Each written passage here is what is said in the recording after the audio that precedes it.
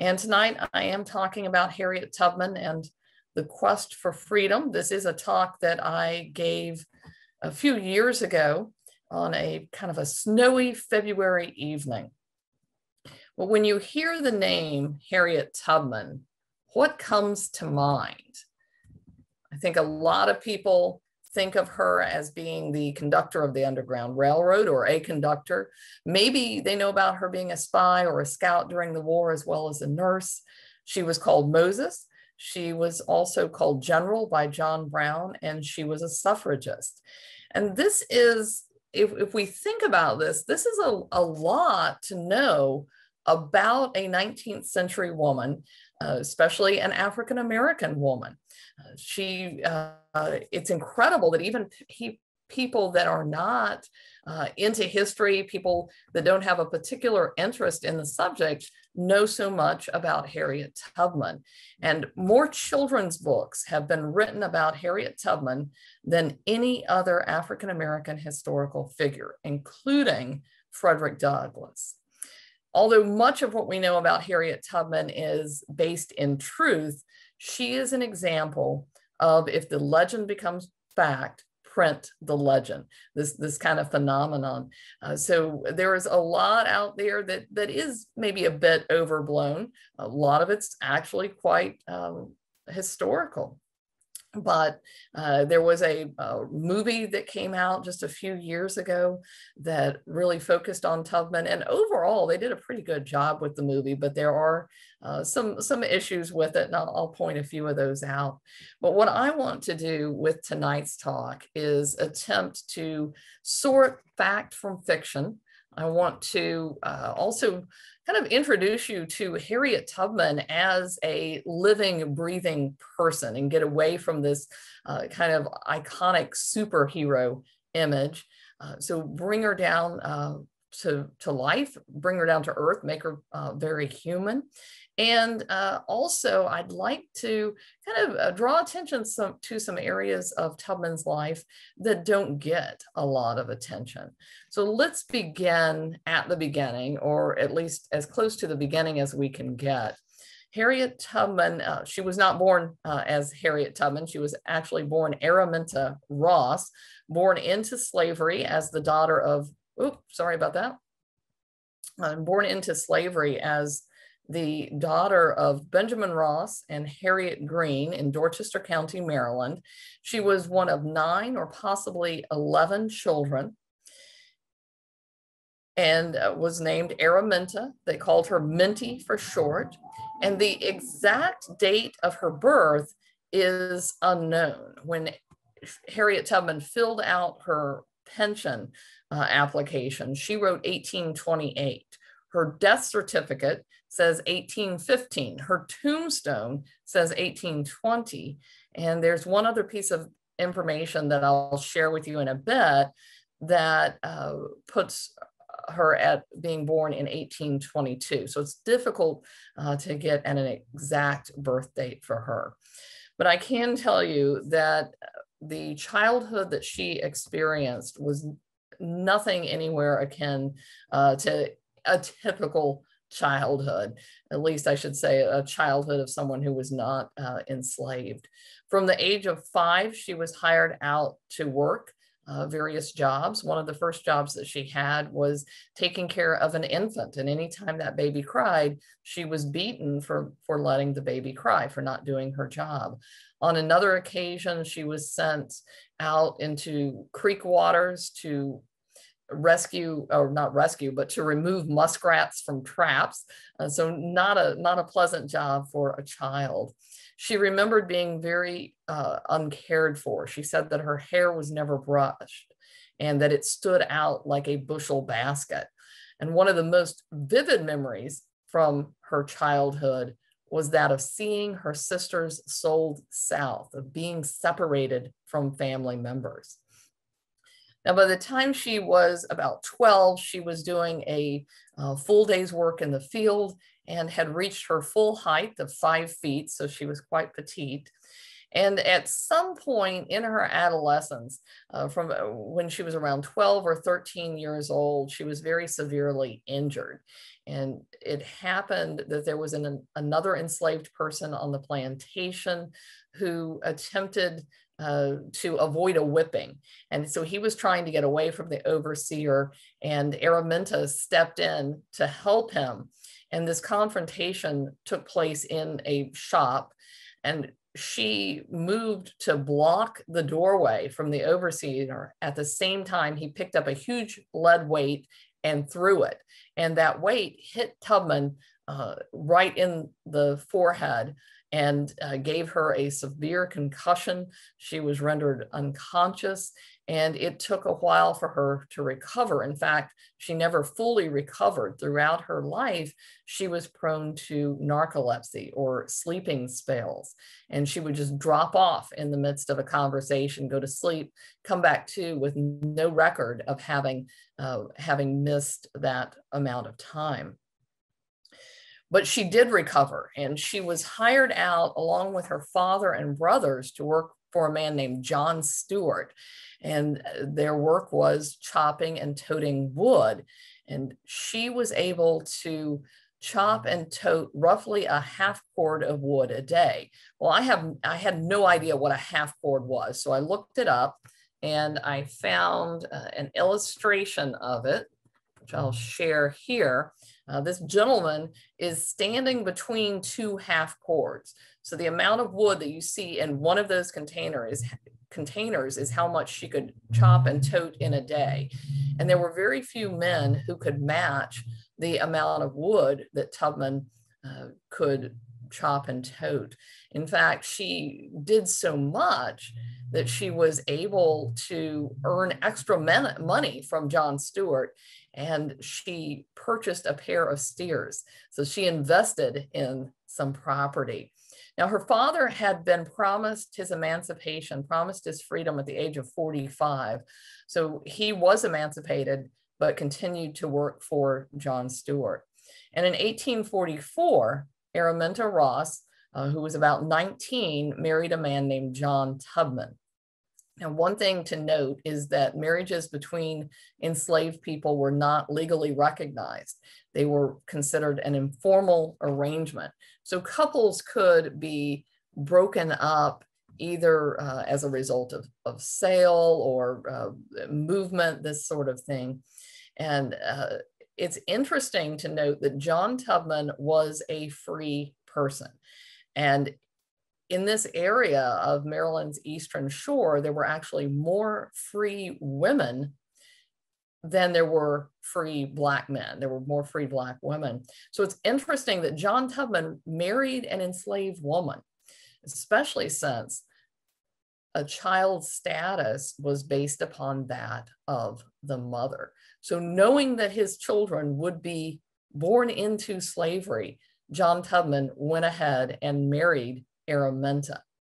So it does make you wonder why he did this. Was he just devastatingly in love with her? Was he uh, so attracted to her? Was he impressed by her worth, work ethic, uh, by the fact that she owned property? Uh, who knows?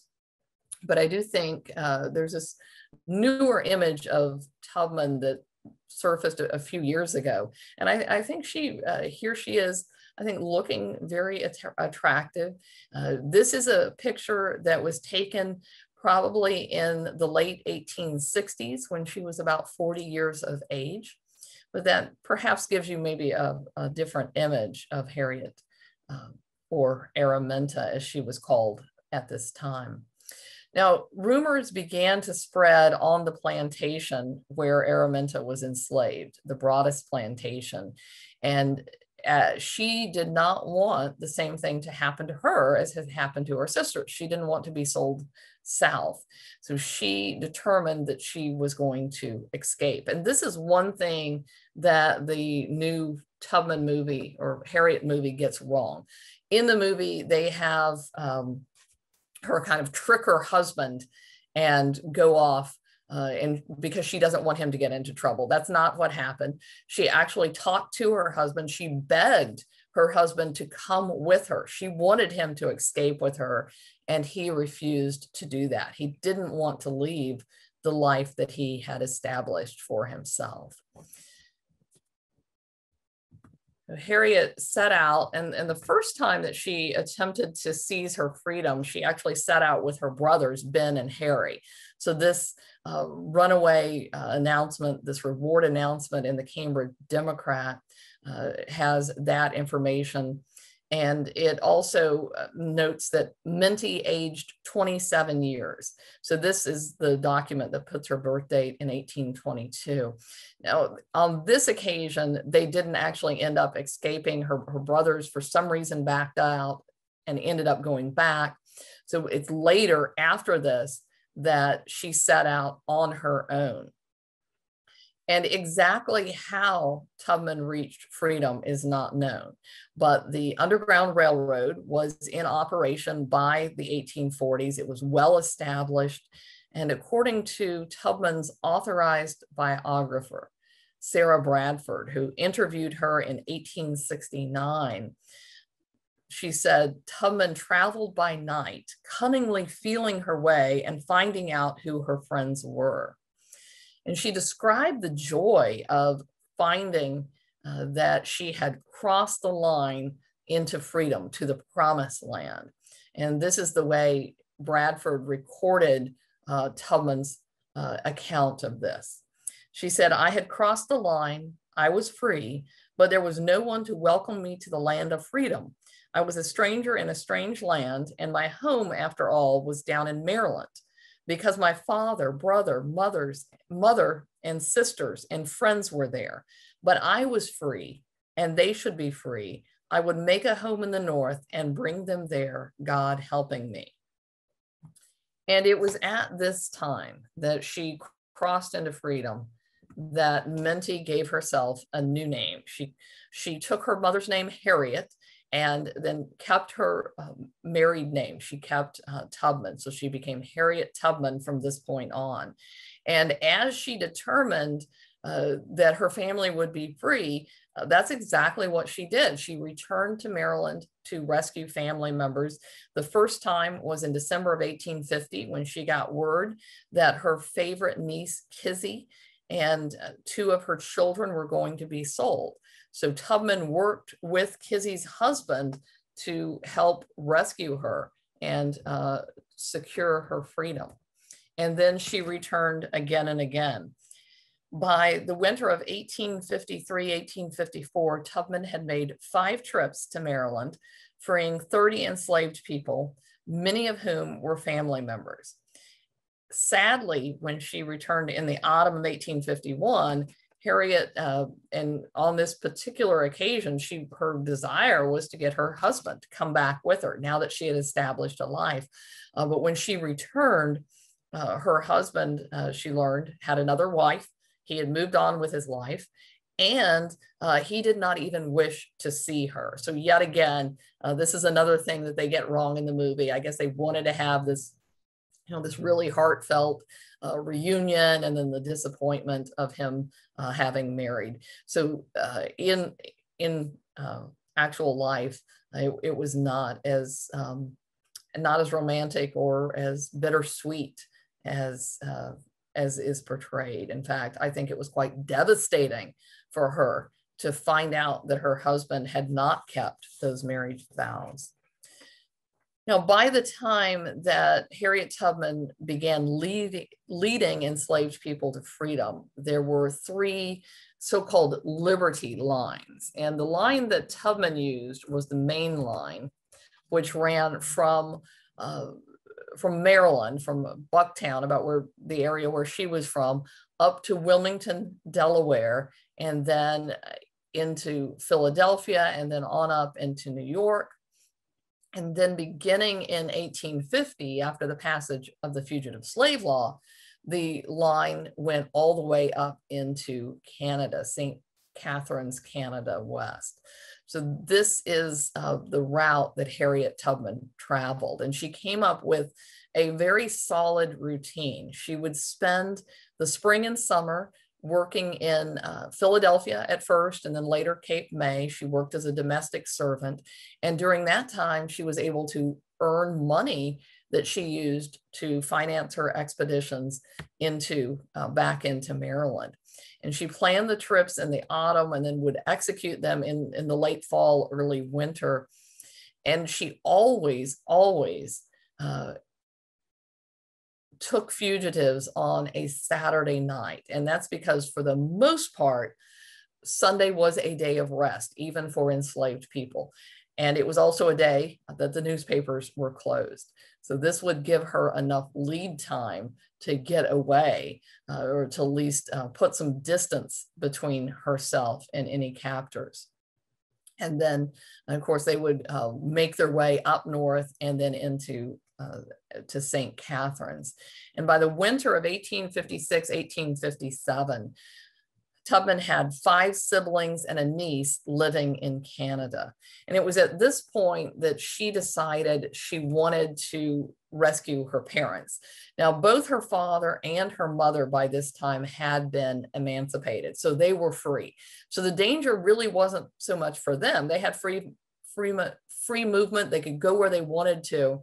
They just didn't have the means or uh, the know how to do that. So Tubman had to come back. So she was putting herself at risk to go back into Maryland to get her family and uh, to get her parents.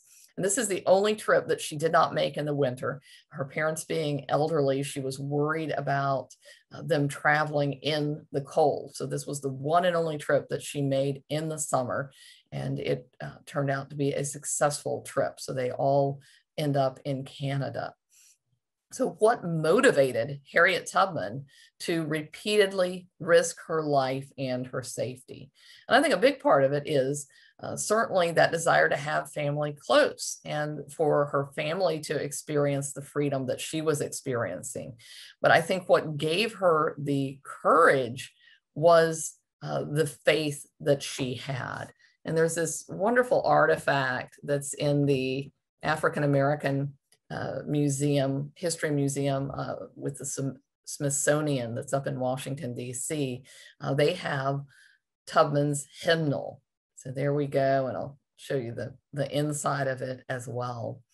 Her Quaker friend, Thomas Garrett, who operated a store in Wilmington, Delaware, that served as a station on the Underground Railroad, explained I never met with any person who had more confidence in the voice of God as spoken direct to her soul. She has frequently told me that she talked with God and he talked with her every day of her life.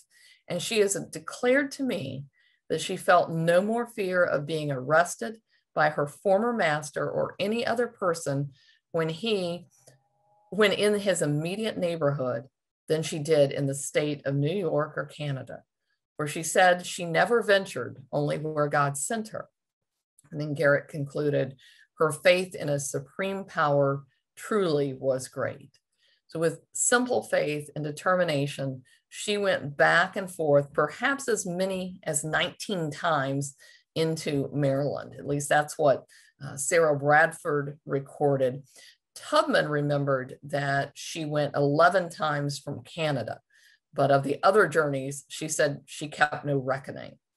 Now, estimates of the number of people Tier, uh, Tubman rescued vary. And here's a historic marker up in Maryland uh, that, uh, of course, refers to her as Moses and uh, says that she had rescued 300 people. And that's the number that Sarah Bradford put in the first biography of Harriet Tubman. More recently, Kate Larson, uh, who wrote a biography on Tubman, uh, did research and said that she was able to find 70 people that Tubman led directly out of uh, slavery and that her advice, her information uh, helped another 70 people escape. So 140 people perhaps uh, through her efforts and information she provided Tubman herself claimed only to have rescued between 50 and 60 people. And I think getting hung up on the numbers is uh, something that we really shouldn't do. It took an extreme amount of courage for Tubman to rescue herself and to make that move and, and to risk uh, seizing her freedom. And it took even more for courage for her to return and rescue others. So, how many times she went, uh, I don't know that that magnifies her courage at all. Maybe it does, uh, or maybe she built courage as she went. But I think what's important is that she did, she was selfless enough to go back on more than one occasion to attempt to rescue people. And she was successful in doing that. She drew a, a lot of praise in abolitionist circles uh, from men like William Lloyd Garrison and Gerrit Smith and Frederick Douglass. They all looked up to her uh, for what she had done. And Senator William Seward of New York uh, was one of her biggest supporters. He offered to sell a home to her in Auburn, New York, with flexible terms and easy payments, uh, $1,200 for a seven acre farm. And by this point, the feeling was that uh, it was safe enough there in Auburn, which was a, a bit of an abolitionist conclave. So Tubman took him on, on this offer. For one thing, her parents were getting older. The winters were very harsh up in St. Catharines. So she knew they would fare better moving back to New York. And that's exactly uh, what they did. In April of 1858, Harriet Tubman met John Brown. And while Frederick Douglass and other abolitionists felt that John Brown's plan to seize the federal arsenal at Harper's Ferry, Virginia, was uh, risky. They, they felt that it wouldn't work and that it would cause more harm than good. Tubman was quite enthusiastic about it. In fact, she urged that the raid occur on Independence Day, 4th of July. That's when she wanted it. And she also wanted to be part of this raid. She wanted to participate in it. Uh, she helped Brown get recruits. He left her $25 in gold so she could uh, kind of recruit people for him. Uh, Brown did not end up making the raid on July 4th because he was not prepared yet. He didn't have the weapons. He ended up waiting until October of 1859. And I think maybe the only thing that saved Tubman from participating in this doomed raid was she was ill at the time. She ha- was having trouble from that old head injury and she was uh, bedridden at the time. So she was not aware of the raid. She didn't get to participate in the raid. And there were uh, some who were perhaps uh, disheartened by Brown's failed attempt, by the fact that he was uh, captured and executed. But for Tubman, this only strengthened her resolve.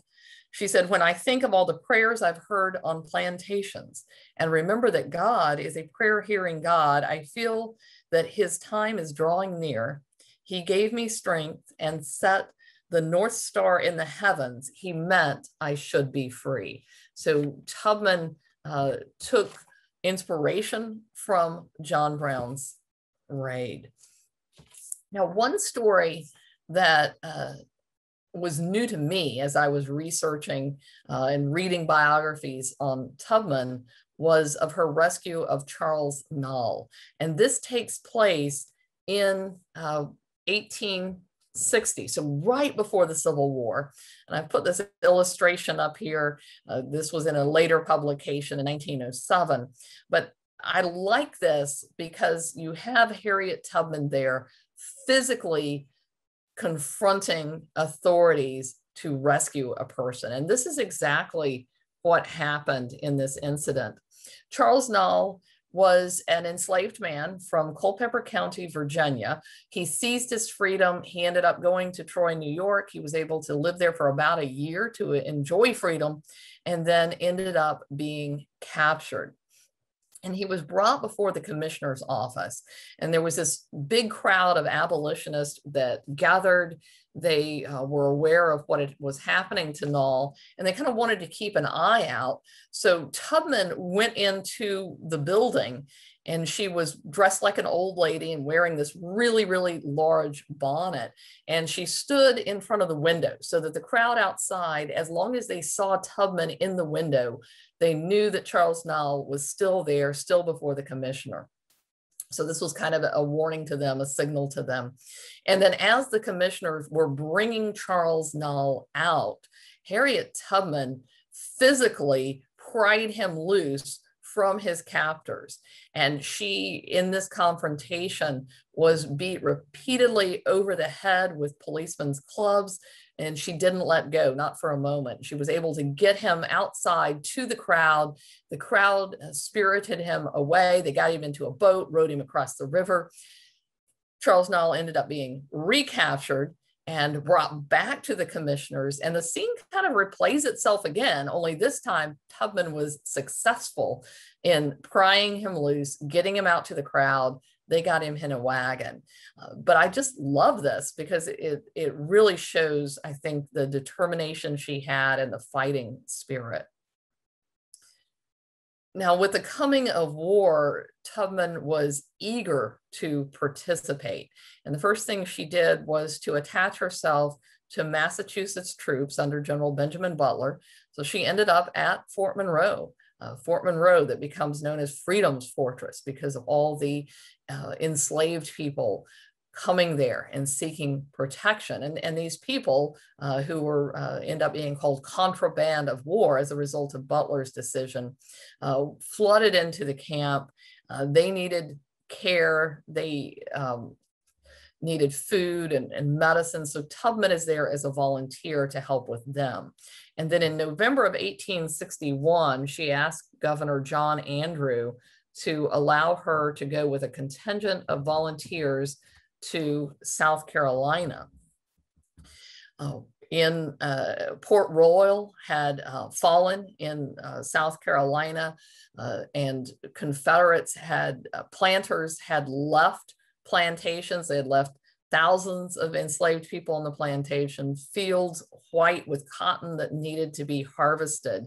So the Port Royal experiment, as it was called, was had the, the military and, and the Treasury Department actually put these formerly enslaved people to work picking the cotton and earning pay for it for the first time. And then uh, there were groups like the American Missionary Society that provided aid and education. So Tubman winds up there uh, with the uh, Dr. Henry K. Durant, who was medical director of the Freedmen's Hospital. And she winds up there uh, working with volunteers, about 90 volunteers. Most of these volunteers were white people.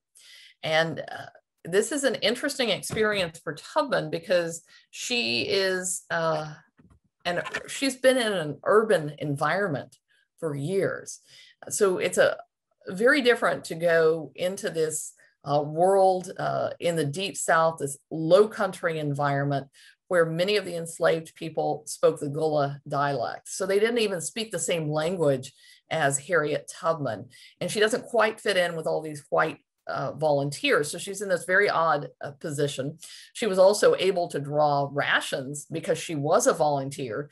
But the contraband people who were there uh, in the camp, they're looking at Tubman saying, well, she's a Black woman just like we are. Why is she able to draw rations and uh, this created some animosity. So rather than be uh, a stumbling block, uh, what she did is she quit drawing rations and supported herself by making pies and root beer.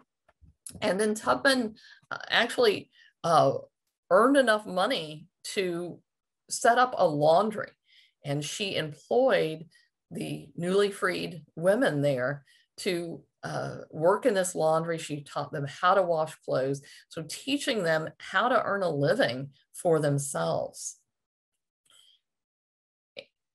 She ends up in this incredibly useful position because by this point she has built up uh, relationships with uh, the enslaved people that are there, the newly uh, freed contraband. And at the same time, she develops these great re relationships with US Army officers. In the summer of 1862, General Rufus Saxton arrived and he summoned Colonel Thomas Wentworth Higginson to command the 1st South Carolina Volunteers, which was the first authorized Black regiment. And then later, Colonel James Montgomery arrives to command the second South Carolina volunteers. Tubman had known Higginson. Uh, he was a supporter of John Brown. He was one of the secret six. Uh, so she knew him. And um,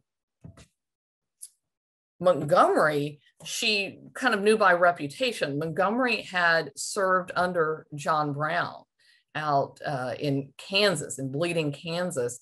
So uh, she ends up in this position with uh, people that that she knows that she has a connection with. They're abolitionists so they have that in common and she's built up this rapport with the contraband.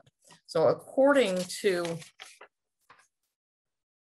lieutenant george garrison son of william lloyd garrison she had made it a business to see all the contrabands who were escaping from the rebels and it was able to get more intelligence from them than anybody else. So she was in this prime position.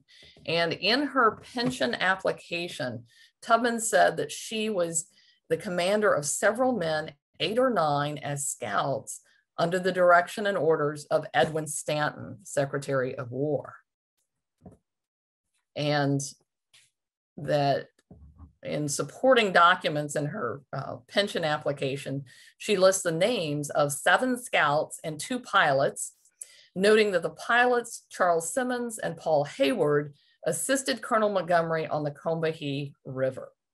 So I want to talk a little bit about the Combahee River raid. And that is one thing that uh, is covered in uh, the, the movie about Tubman. On June 3rd, 1863, General David Hunter reported to Edwin Stanton that Colonel Montgomery, with 300 men of his regiment and a section of the 3rd Rhode Island Battery, penetrated the country of the enemy 25 miles, destroyed a pontoon bridge across the Combahee River, and together with a vast amount of cotton, rice, and other property, brought away with him 725 slaves and five horses. So this is a pretty significant raid that occurs. Now, there's no mention in this report of uh, Tubman, which uh, I find interesting, a little uh, perplexing.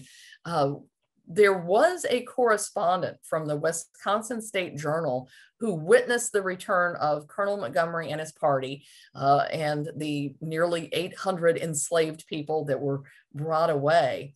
And there was this church service that was held. And uh, he, he recorded that after they were all, all fairly disposed of in the church, they were addressed in strains of thrilling eloquence by their gallant deliverer, to which they responded in a song.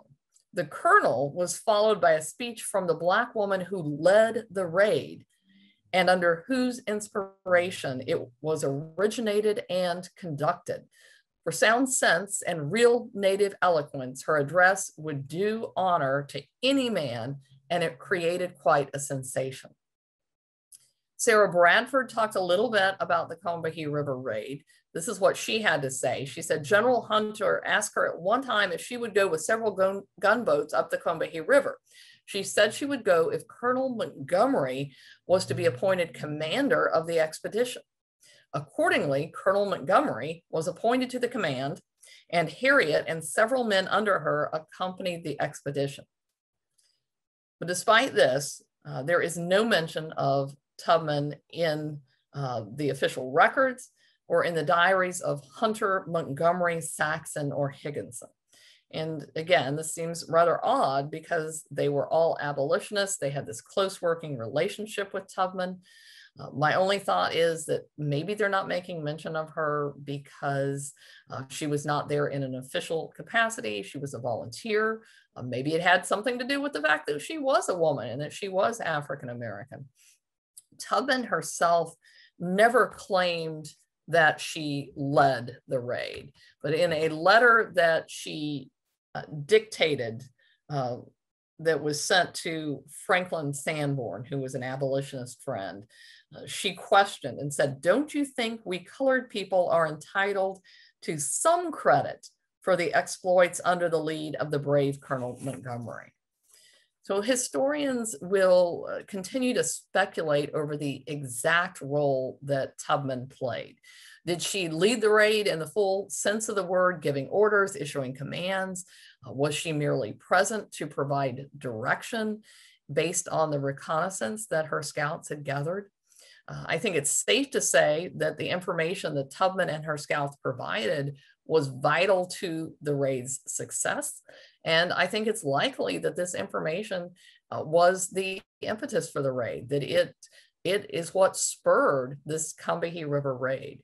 And then undoubtedly her presence there on the boat reassured frightened enslaved people that a rescuer had arrived. Now, on just kind of a fun note, in that same letter to Sanborn, Tubman asked him to send her a bloomer dress. She said that her dress had been ripped during the raid. And uh, in case you are not familiar with the bloomer dress, I have a picture here so you can see uh, what that would look like. Uh, I like to think that she got her bloomer dress and, and enjoyed wearing it. Now, although her wartime service was testified to by the officers under whom she served, it took Harriet Tubman over 30 years to obtain a, a pension. And uh, the main issue was, as I mentioned earlier, that her service uh, was in a volunteer capacity. She was never there in any official capacity. She did uh, finally in 1899 get her pension for $20 a month, which included an $8 widow pension, which I will, um, I'll explain uh, a little bit about that in a bit. I want to also just spend uh, some time very briefly talking about Harriet Tubman in the post-war years. Certainly she did participate in the uh, women's suffrage movement, but her true focus was on aiding the poor and the needy. And she didn't have very much herself, and she always struggled to provide for herself and for her extended family. But she was also open to taking in people who needed assistance. And one of the people that, that she took into her household was a formerly enslaved man named Nelson Davis. Uh, he had actually been enslaved as Nelson Charles, and he was suffering from tuberculosis. In 1867, Harriet Tubman learned that her husband, John, had been killed. He was killed by a white man uh, who went unpunished. We can only speculate how she felt upon hearing the news but it meant that she was a widow. And 15 months later, she married Nelson Davis. And I think this, uh, I think this shows how seriously Harriet took her wedding vows to John Tubman. Even though she had, he had not been faithful, she remained faithful to him uh, until, uh, until he was dead. Now, it's interesting to note that Nelson Davis was about 20 years younger than Harriet Tubman. So when they married, he was only 25, she was 47. But people who saw them together uh, often commented that they really looked like they were about the same age. They looked very close in age because due to his illness, his tuberculosis, uh, he looked much older. And uh, Harriet uh, was was young and healthy and spry. She appeared to be uh, much younger. Uh, they were married for nearly 20 years until he died in 1888. Tubman was determined to have a home for needy and neglected people of color. And in 1896, she bought a 10 room house that was right next to her property and uh, she bought it at auction for $1,450. She did not have the the money at the time that she bid on the house. So, uh, you know, it was a gamble. It was a leap of faith. Uh, call it what you will. She bid on the property. She won the property at auction. And then she went to the elders at her church, the AME Zion Church, and said, I need you to help me. So uh, they helped her secure a bank loan for $1,000. And then she was able to raise the rest of the money she needed in donations. In a little over a week, she had her down payment. Maintaining this house was always a major struggle for her. Uh, but uh, she uh, she held on, uh, she succeeded, and uh, realizing the limitations of her mortality in 1903, she ended up turning the house over to her church with the stipulation that she would hold a lifetime deed and that it would continue to serve as a home for the needy. In 1911, after she was hospitalized with an illness, Tubman moved into the house. So that was her uh, final home. She died on March 10th, 1913, and was buried with military honors at Auburn's Fort Hill Cemetery. And as she was dying, word spread throughout the country. So you can find announcements of her death in papers uh, in, in Washington, D.C., and in Montpelier, Vermont, and Ohio, Nebraska, Omaha, Nebraska, and St. Uh, Salt Lake City, Utah, uh, just to name a few. These are just a few of the ones that I found. So it, across the country, people were, were moved uh, when they found out that Harriet Tubman was dying.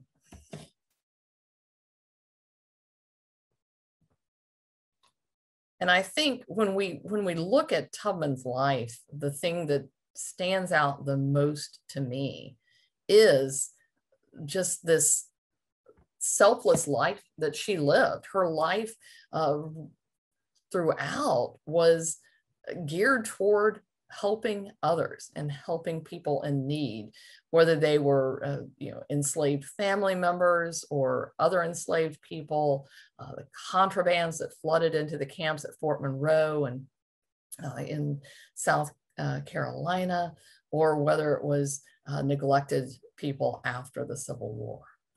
So I know uh, it looks like the chat has been a little busy. So I'm going to see if I can take some of these questions. And let's see what people have to say. I also noticed that a lot of people logged in really late. So I'm wondering if we've had another Eventbrite problem. I hope that's not the case, but I apologize if it was. In the film Harriet, Harriet Tubman is depicted as engaged to a local free man of color. Um,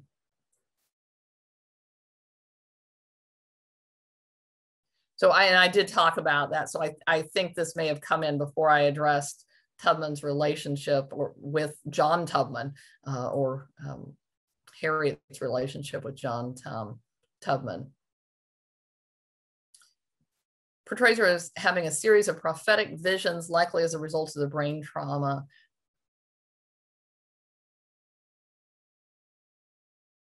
And I'm not sure I would exactly call them uh, I, the film definitely does make them kind of look like prophetic visions.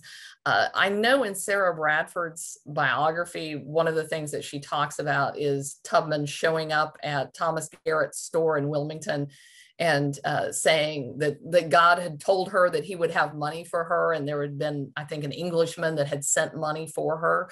So that sort of thing definitely did happen. But as far as you know visions of uh, war coming or visions of you know kind of the future i, I don't think so i think um, there's also another story that's in sarah bradford's biography about uh, just feeling led by god not to go a certain route and it turned out it was you know being traveled by a slave patrol so i, I think um, in in kind of a, a christian sense of, of being led by by God, being led by the Holy Spirit. I, I think that is something that seems to have been a part of her life, uh, but you know, maybe not visions telling the future uh, would be the way I would answer that.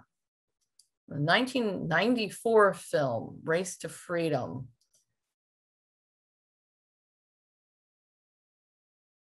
Since Canada was bound by the fugitive slave law, did the US government attempt to negotiate with the Canadian government for the repatriation of fugitive slaves.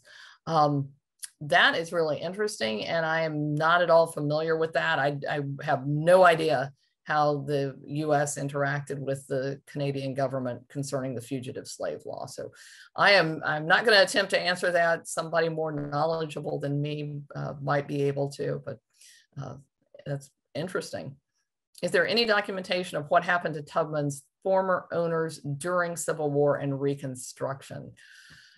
And that is a really good question. And I'll have to say it's not one that I've delved into. And the biographies on Tubman that I've read don't go into that. So, uh, you know, I don't know.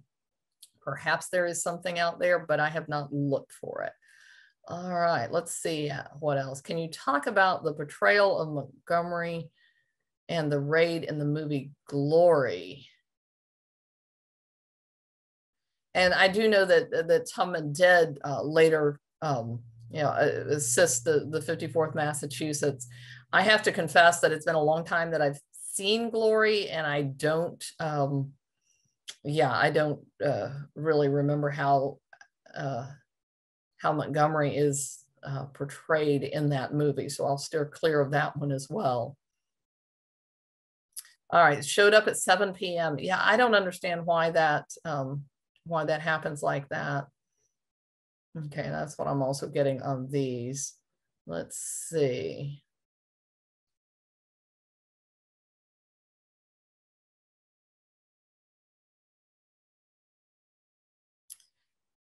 Okay, and yeah, more on Montgomery's burning of Darien and terrorizing white Southern civilians, omitting his humanitarian accomplishments yeah now, now that you say that that kind of i remember that from glory but again i just uh, that's not something that i've am that can recall that well and am that familiar with.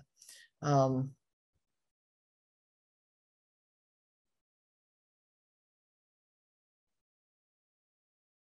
all right i think that let me see i don't think there are other questions. I think i've got them all but let me see since William Seward was an ardent supporter of Harriet Tubman, what are your thoughts on his attempt to find a compromise with the South during the secession winter and his backdoor scheme to undermine President Lincoln during the Fort Sumter crisis?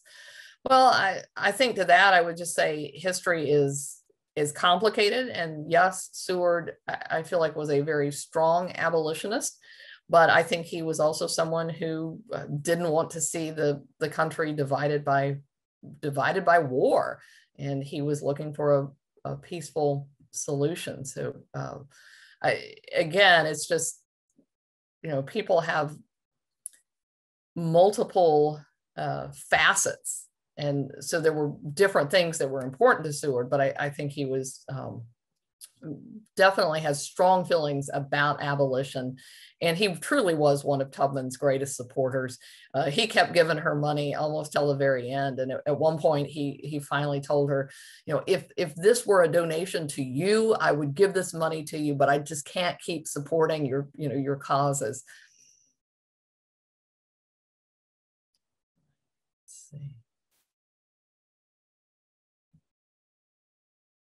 But I think it looks like we have and how accurate was the most recent film on Tub, Tubman. I think there were parts of it that were very well done. Uh, my my biggest frustration with it was her relationship with uh, her husband uh, because that was totally inaccurate, and then also this idea that there was this uh, giant price on her head and that she was specifically being targeted and, and pursued because that was not the case. Uh, there was an initial runaway uh, reward offered for her of, I think, $300. But beyond that, there wasn't. And there's, uh, there's historians like Kate Larson or, or Catherine Clinton uh, don't really um, think that uh, that her exploits were known at the time like the the people uh, her former owners uh, the Brodesses didn't know that she was spiriting away uh, enslaved people from their plantation or from the area so it it wasn't this targeted, uh, you know, oh my, we've got to stop Harriet Tubman sort of thing that uh, I feel like the movie kind of leads you to believe. So I think those are the the two biggest uh, complaints that I had about the movie.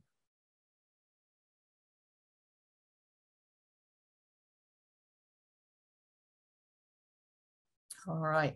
And did she pull, uh, try to mobilize freed slaves in the Reconstruction South? As far as I know, she did not. And you know, she was kind of on the fringes of, the suffrage movement, but her her true heart was in trying to do uh, what she could for needy and neglected people. So that's where her main focus was uh, and uh, so she was not really into you know being a political mover and shaker and mobilizing people. And did tubman's husband go with her to canada? He did not. In fact when she went back uh, in i think it was 1852 that she made that that trip hoping to get him uh, to to come back north with her he um, he wouldn't even see her. All right Oh, somebody has put into the chat information on Canada and the Fugitive Slave Act. So great. Uh, I will, I'll have to have a look at that later and, and, and read it and find out. Yeah, and I uh, am, again, as I come to the end of this uh, talk and this evening, so sorry about um, the confusion with Eventbrite. I do not understand um, why this has been the case. And it's something that I've uh, brought up to our uh, digital marketing um, manager. And uh, I don't think she can figure out why this has happened either. It's just kind of this bizarre glitch that seems to uh, periodically um, show up. So I am very sorry about this. I did remember to record, so uh, hopefully we will have this talk available soon. And uh, all I can say is, um, you know, try to double check with our, our website on, on times.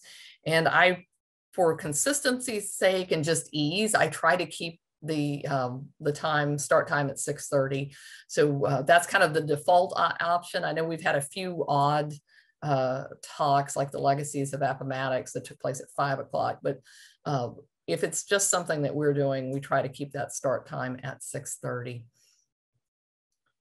And uh, on that, let's see what else is coming up in the chat. Um, and yes, her husband did uh, have another family.